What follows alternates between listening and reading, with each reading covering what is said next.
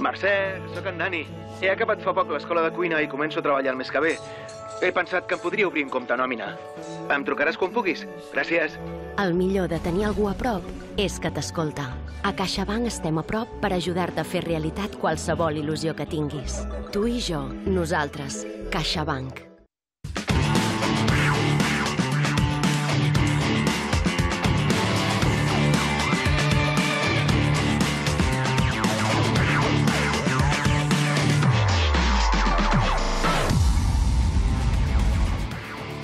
Benvingudes i benvinguts al Tot l'Esport. Victòria de la Unió Esportiva Rapitenca per 1 a 5 en la seva visita al camp de la Grama. Una victòria que els ha continuat més que vius en la lluita per la permanència. Tot i que el primer quart d'hora de partit el van dominar els locals, al minut 18 els rapitencs avançaven gràcies a un Ian Arqués precís a l'hora d'aprofitar una passada de Musa. Els de la Grama estaven a punt d'empatar 3 minuts més tard amb un xut creuat de Peris i després de diverses ocasions l'empat arribava al 33.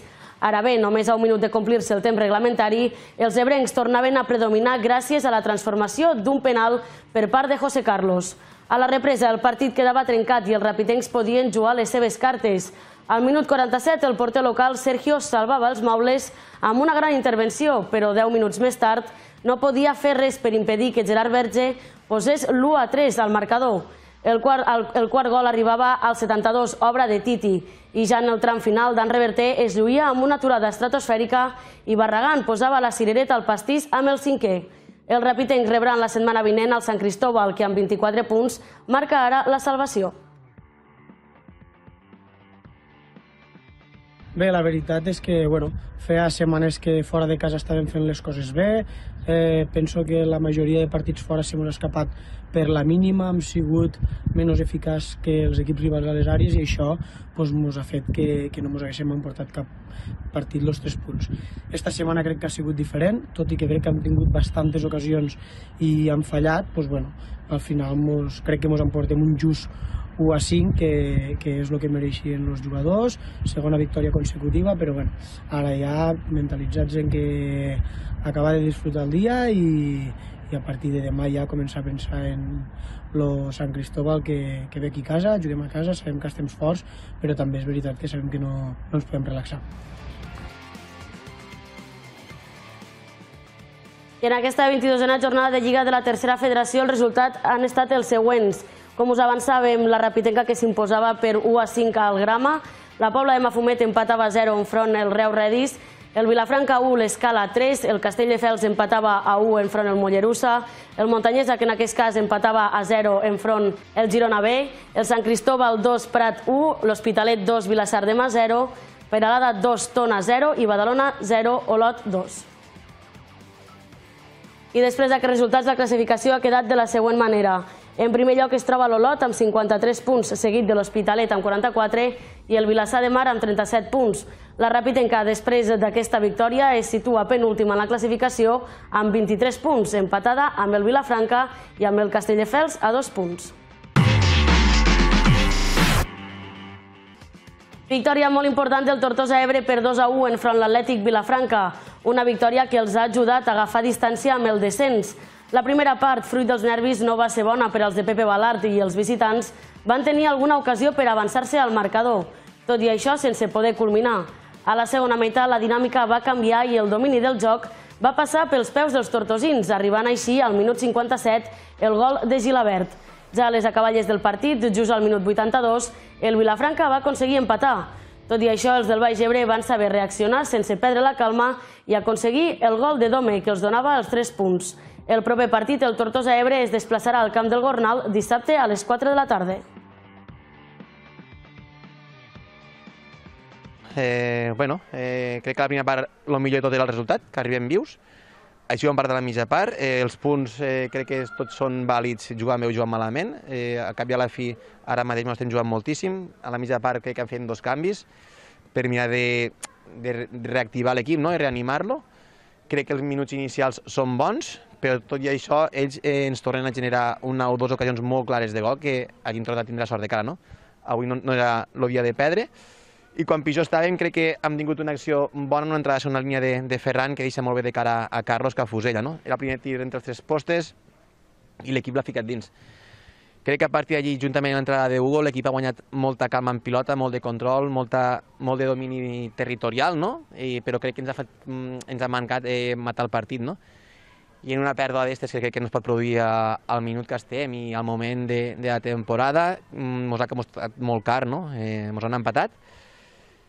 I bé, eh, cap als últims minuts l'equip ha tirat davant, eh, crec que no hi ha hagut precipitació, quan estem a últims metres hem triat molt bé les, les millors opcions i hem aviat en un córner, en un remat de peque de cap, i bueno, al minut 92 crec que era no? una acció per banda esquerra, deixem molt bé a la frontal on Domé pues, ha, ha, definit no? en molta qualitat a, a l'únic lloc on podia clavar-la. No? Tres punts eh, jo crec que molt, molt, molt importants, que ara mateix ens fa guanyar un marge altre cop de dos partits, eh, tornem a guanyar un gol average particular en un equip, jo crec que en rival directe d'aquí al final de temporada, i ens torna a enganxar una zona ja més còmoda, però bueno, això ara mateix és assaborir-ho avui.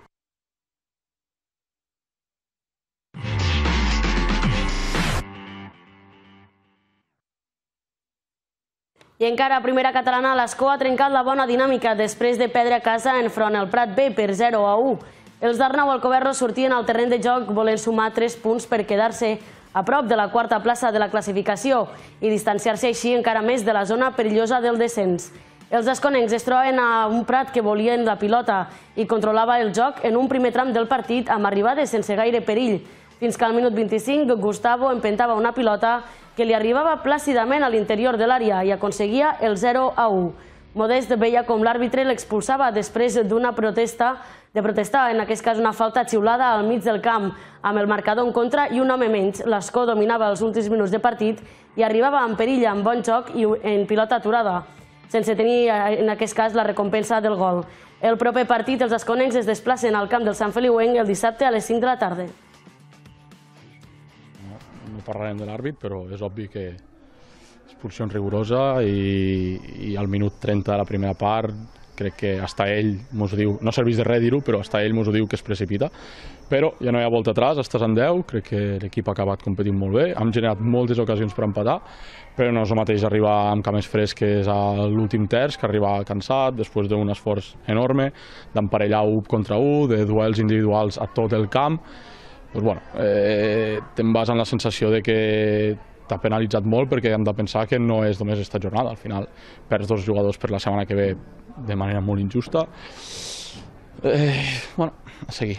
Ho tornem a dir, tenim un plantejament de partit molt marcat, crec que ens estava anant molt bé, fins al minut 33 no generen ni una ocasió, dir, al final l'ocasió de gol és inclús discutible per la falta prèvia, no la pita, pot passar, ja està, no passa res però vull dir, és l'única que tenen i és un error individual, anem a dir-ho així, que jo no el considero perquè, repeteixo, crec que és falta, però, però és l'única que tenen, és l'única que tenen i a partir d'allí mm, és que a partir del 33 inclús amb un menys hem dominat nosaltres i hem tingut més ocasions nosaltres, llavors sí, decisió marcada per, és a dir, partit marcat per la decisió arbitral, sí.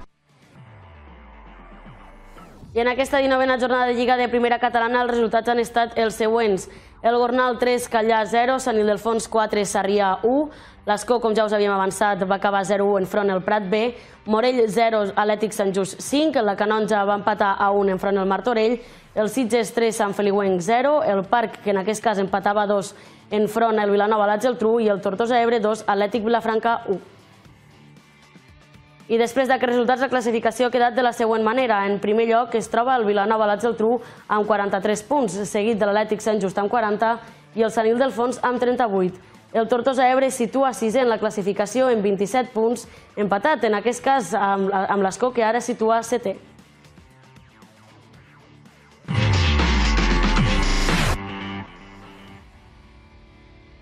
I derrota del vòlei Roquetes per 3 a 0 en la seva visita a la pista del Tarragona, Sant Pere i Sant Pau. Al llarg del primer set, els roquetencs van mostrar un gran joc d'atac, fet pel que els permetia tenir dues pilotes per poder emportar-se el set. Però una bona ratxa en bloqueig dels locals els va impedir tancar-lo i finalitzar així amb un ajustat 27 a 25. El segon set, l'equip local va mostrar un gran nivell en el servei i es van emportar el set amb facilitat per 25 a 17. El tercer set va, va tornar a ser de màxima igualtat, amb distàncies curtes en el marcador i arribant a estar 21 a 21. A partir d'aquí, l'equip local va demostrar el seu potencial i el per què és líder de grup i així va mostrar la seva millor versió aconseguint tancar el set i el partit per un ajustat 25 a 22. El proper dissabte el volei Roquetes rebrà el Xàtiva el dissabte a les 7 i mitja de la tarda. A més, es farà la presentació de tots els equips del club.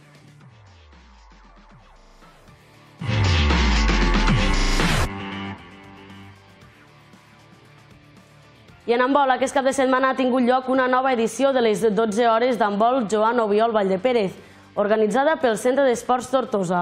La trobada va tenir un component solidari per la col·laboració amb la Fundació Privada Tutelar Terres de l'Ebre. Les famílies del club han pogut aportar aliments i material d'higiene i la guanyadora del concurs entre tots aquells que han volgut posar el seu gra de sorra ha estat la jugadora de l'Escola Cucafera del Centre d'Esports Tortosa, Martina Puyo.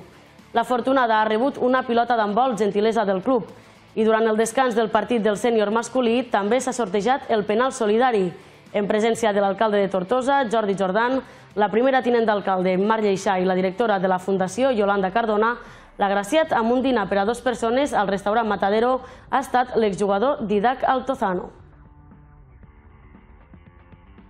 Sí, a veure, avui hem celebrat una nova edició de les 12 hores d'handbol i que sempre aprofitem per recordar a un excompany, a un exporter important per a nosaltres que ens va deixar fa uns quants anys i que li va ser un entrenador molt carismàtic per al club.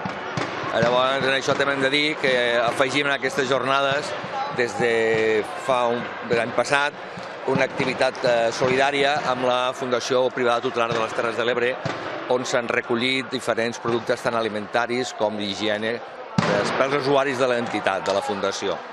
I també l'any passat vam implantar també el reconeixement d'algun jugador emblemàtic del club i bueno, l'any passat van ser dos i enguany ha estat un, que és el Jordi Martorell, Marto, que encara està jugant a una edat ja important i que sempre aporta bueno, la seva saviesa, la seva experiència.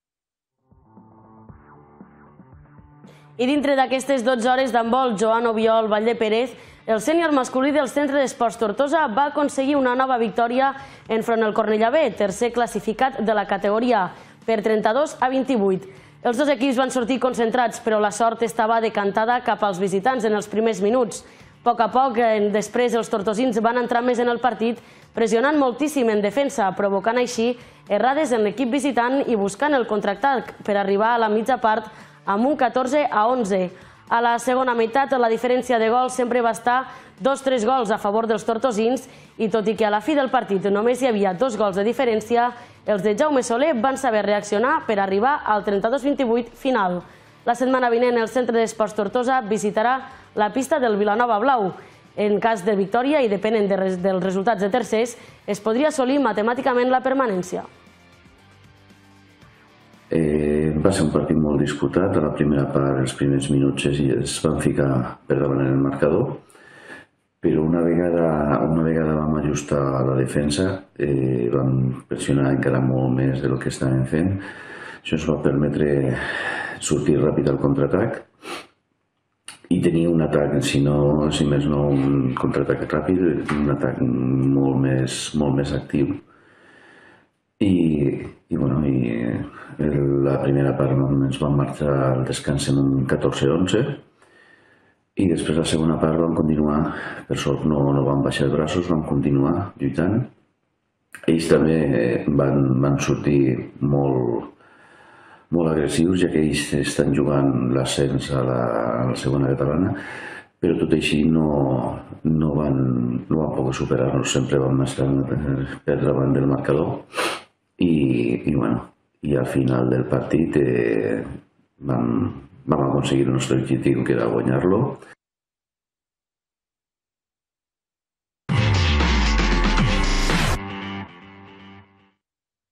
Encara en handbol, victòria importantíssima del club handbol Amposta enfront el segon classificat, el Granollers Atlètic, per 26 a 22. Un partit molt disputat en el que les ampostines van anar sempre per davant al marcador. Sense poder agafar rendes superiors a 3-4 gols, s'arribava al descans amb el resultat de 16 a 12. A la represa, l'Amposta va mantenir la diferència de gols obtinguda els primers 30 minuts, amb la dificultat afegida de disputar 6 minuts en inferioritat per tres exclusions gairebé consecutives. Tot i això, el conjunt ampostí es va mantenir ferm tant en l'aspecte ofensiu com en el defensiu, podent endur-se els punts en joc. Diumenge vinent, el club handbol Amposta es desplaçarà a la pista del Barcelona Sants per disputar a partir de les 6 de la tarda el partit corresponent a la 22a jornada de Lliga Catalana. Bueno, el partit ha anat... Eh, la primera part ha sigut... Jo crec que han fet una bona primera part, han defensat molt bé, això ens ha permès sortir molt bé al contraatac i hem agafat quatre gols d'avantatge, a la mitja part anàvem 16-12 i bueno, la segona part ja hem jugat una mica en això, crec que també hem estat eh, molt bé en defensa, crec que avui l'equip eh, el partit s'ha tret per actitud, eh, hem demostrat que volem estar, estar dalt, que volem anar a fases i els jugadors se mereixen guanyar avui. Bueno, el resultat, evidentment, és un equip que venia de, no, no, no sols de guanyar, sinó que estava golejant quasi tots els partits. Eh, això ens dona un marge de, de 5 punts ara mateix, ells en un partit menys. Ens dona molta confiança, anem líders, eh, és molt positiu. Se'n fica, la veritat que ens fica ben encarat, encara no, no és res definitiu, però ho tenim ben encarat i, i volem seguir i estar dalt.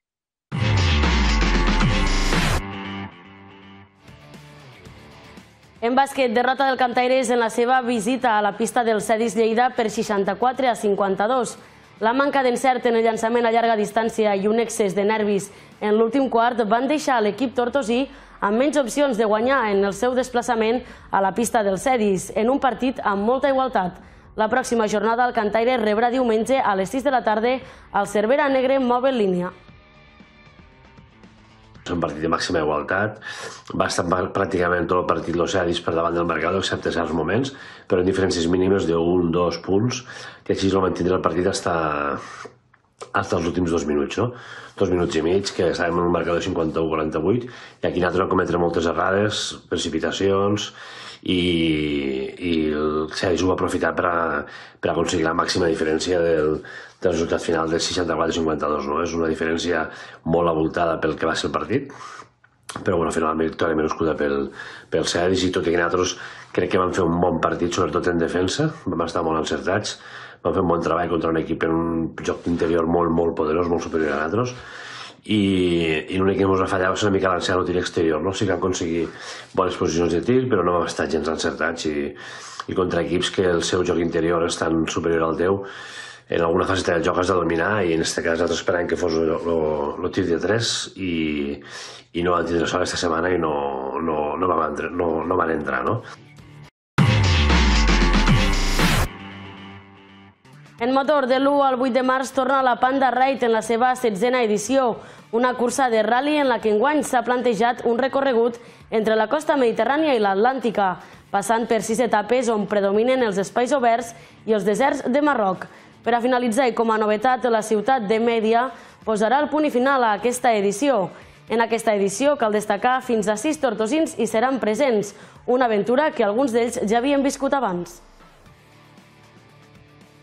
Nosaltres, bueno, és un projecte que vam començar el 2016 i bueno, ja vam, vam anar vaig anar-hi al 2022 i al 2024 pues, bueno, el coquet de la gasolina i del, i del món del, del ride pues, pues, mos hem tornat a, a mi i a l'Albert a juntar per a poder fer esta, esta experiència única.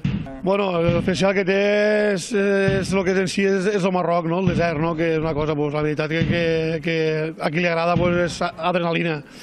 Però bueno, és una carrera solidària també, tot s'ha de dir. Nosaltres portarem cosetes per anar per a aquella gent, per a aquells xiquets que no tenen res. I, i bueno, i d'especial pues, és tot. És el paisatge és, és, és brutal, és brutal.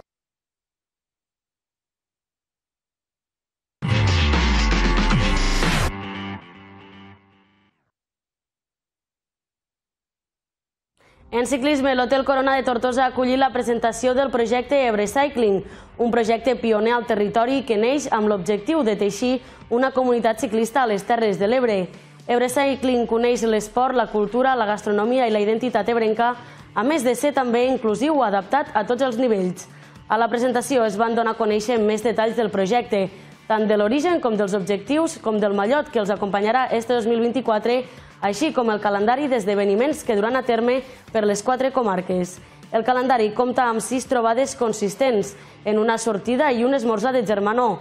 La primera trobada serà el 4 de maig. Ebre Cycling és una comunitat oberta a tothom per tal de promoure aquest esport en un territori ideal per practicar-lo com són les Terres de l'Ebre. La iniciativa Ebre Cycling és un projecte que pretén, eh, pretén impulsar el ciclisme a Terres de l'Ebre a través d'una comunitat ciclista pròpia del territori i que a més a més eh, fusionem diferents conceptes com el territori, eh, la cultura i, i la gastronomia. Avui presentem el Mallot 2024 i també un calendari d'esdeveniments on tothom podrà participar i seran sortides per tot el territori de Terres de l'Ebre, a més a més de, de tindre un caràcter totalment inclusiu per tots els nivells. Eh, des del mes de maig fins al mes d'octubre es faran trobades ciclistes de caire social, però també hi haurà diferents ritmes, és a dir, podrà anar des d'una persona que ja té un cert nivell en ciclisme i, i va un pèl més lent, fins persones que ja estan en un nivell, en un estat físic eh, molt més alt i, i per tant volen tindre aquest punt més competitiu.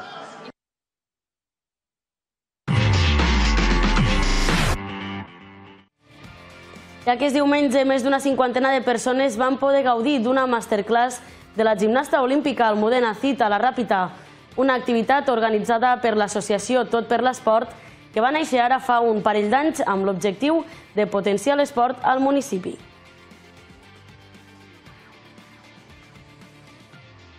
Eh, pues som una, una associació que va néixer el juny de l'any passat eh, per impulsar una miqueta l'esport rapitenc, ja no a part d'aquí a, a la Ràpita, sinó mm, ser un referent per, per a totes les Terres de l'Ebre, no? I que puguem tindre a una gimnasta olímpica finalista de quatre Jocs Olímpics, pues, és que és una cosa top no? per, per a la Ràpita?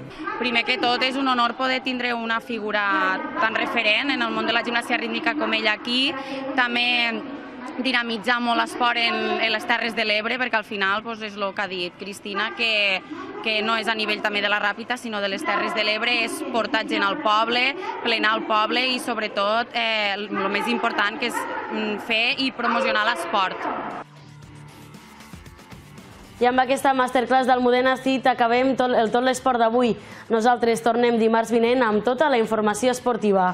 Recordin que poden seguir informats a l'Ebre Digital, a Canal T i a Canal T24. Fins dimarts.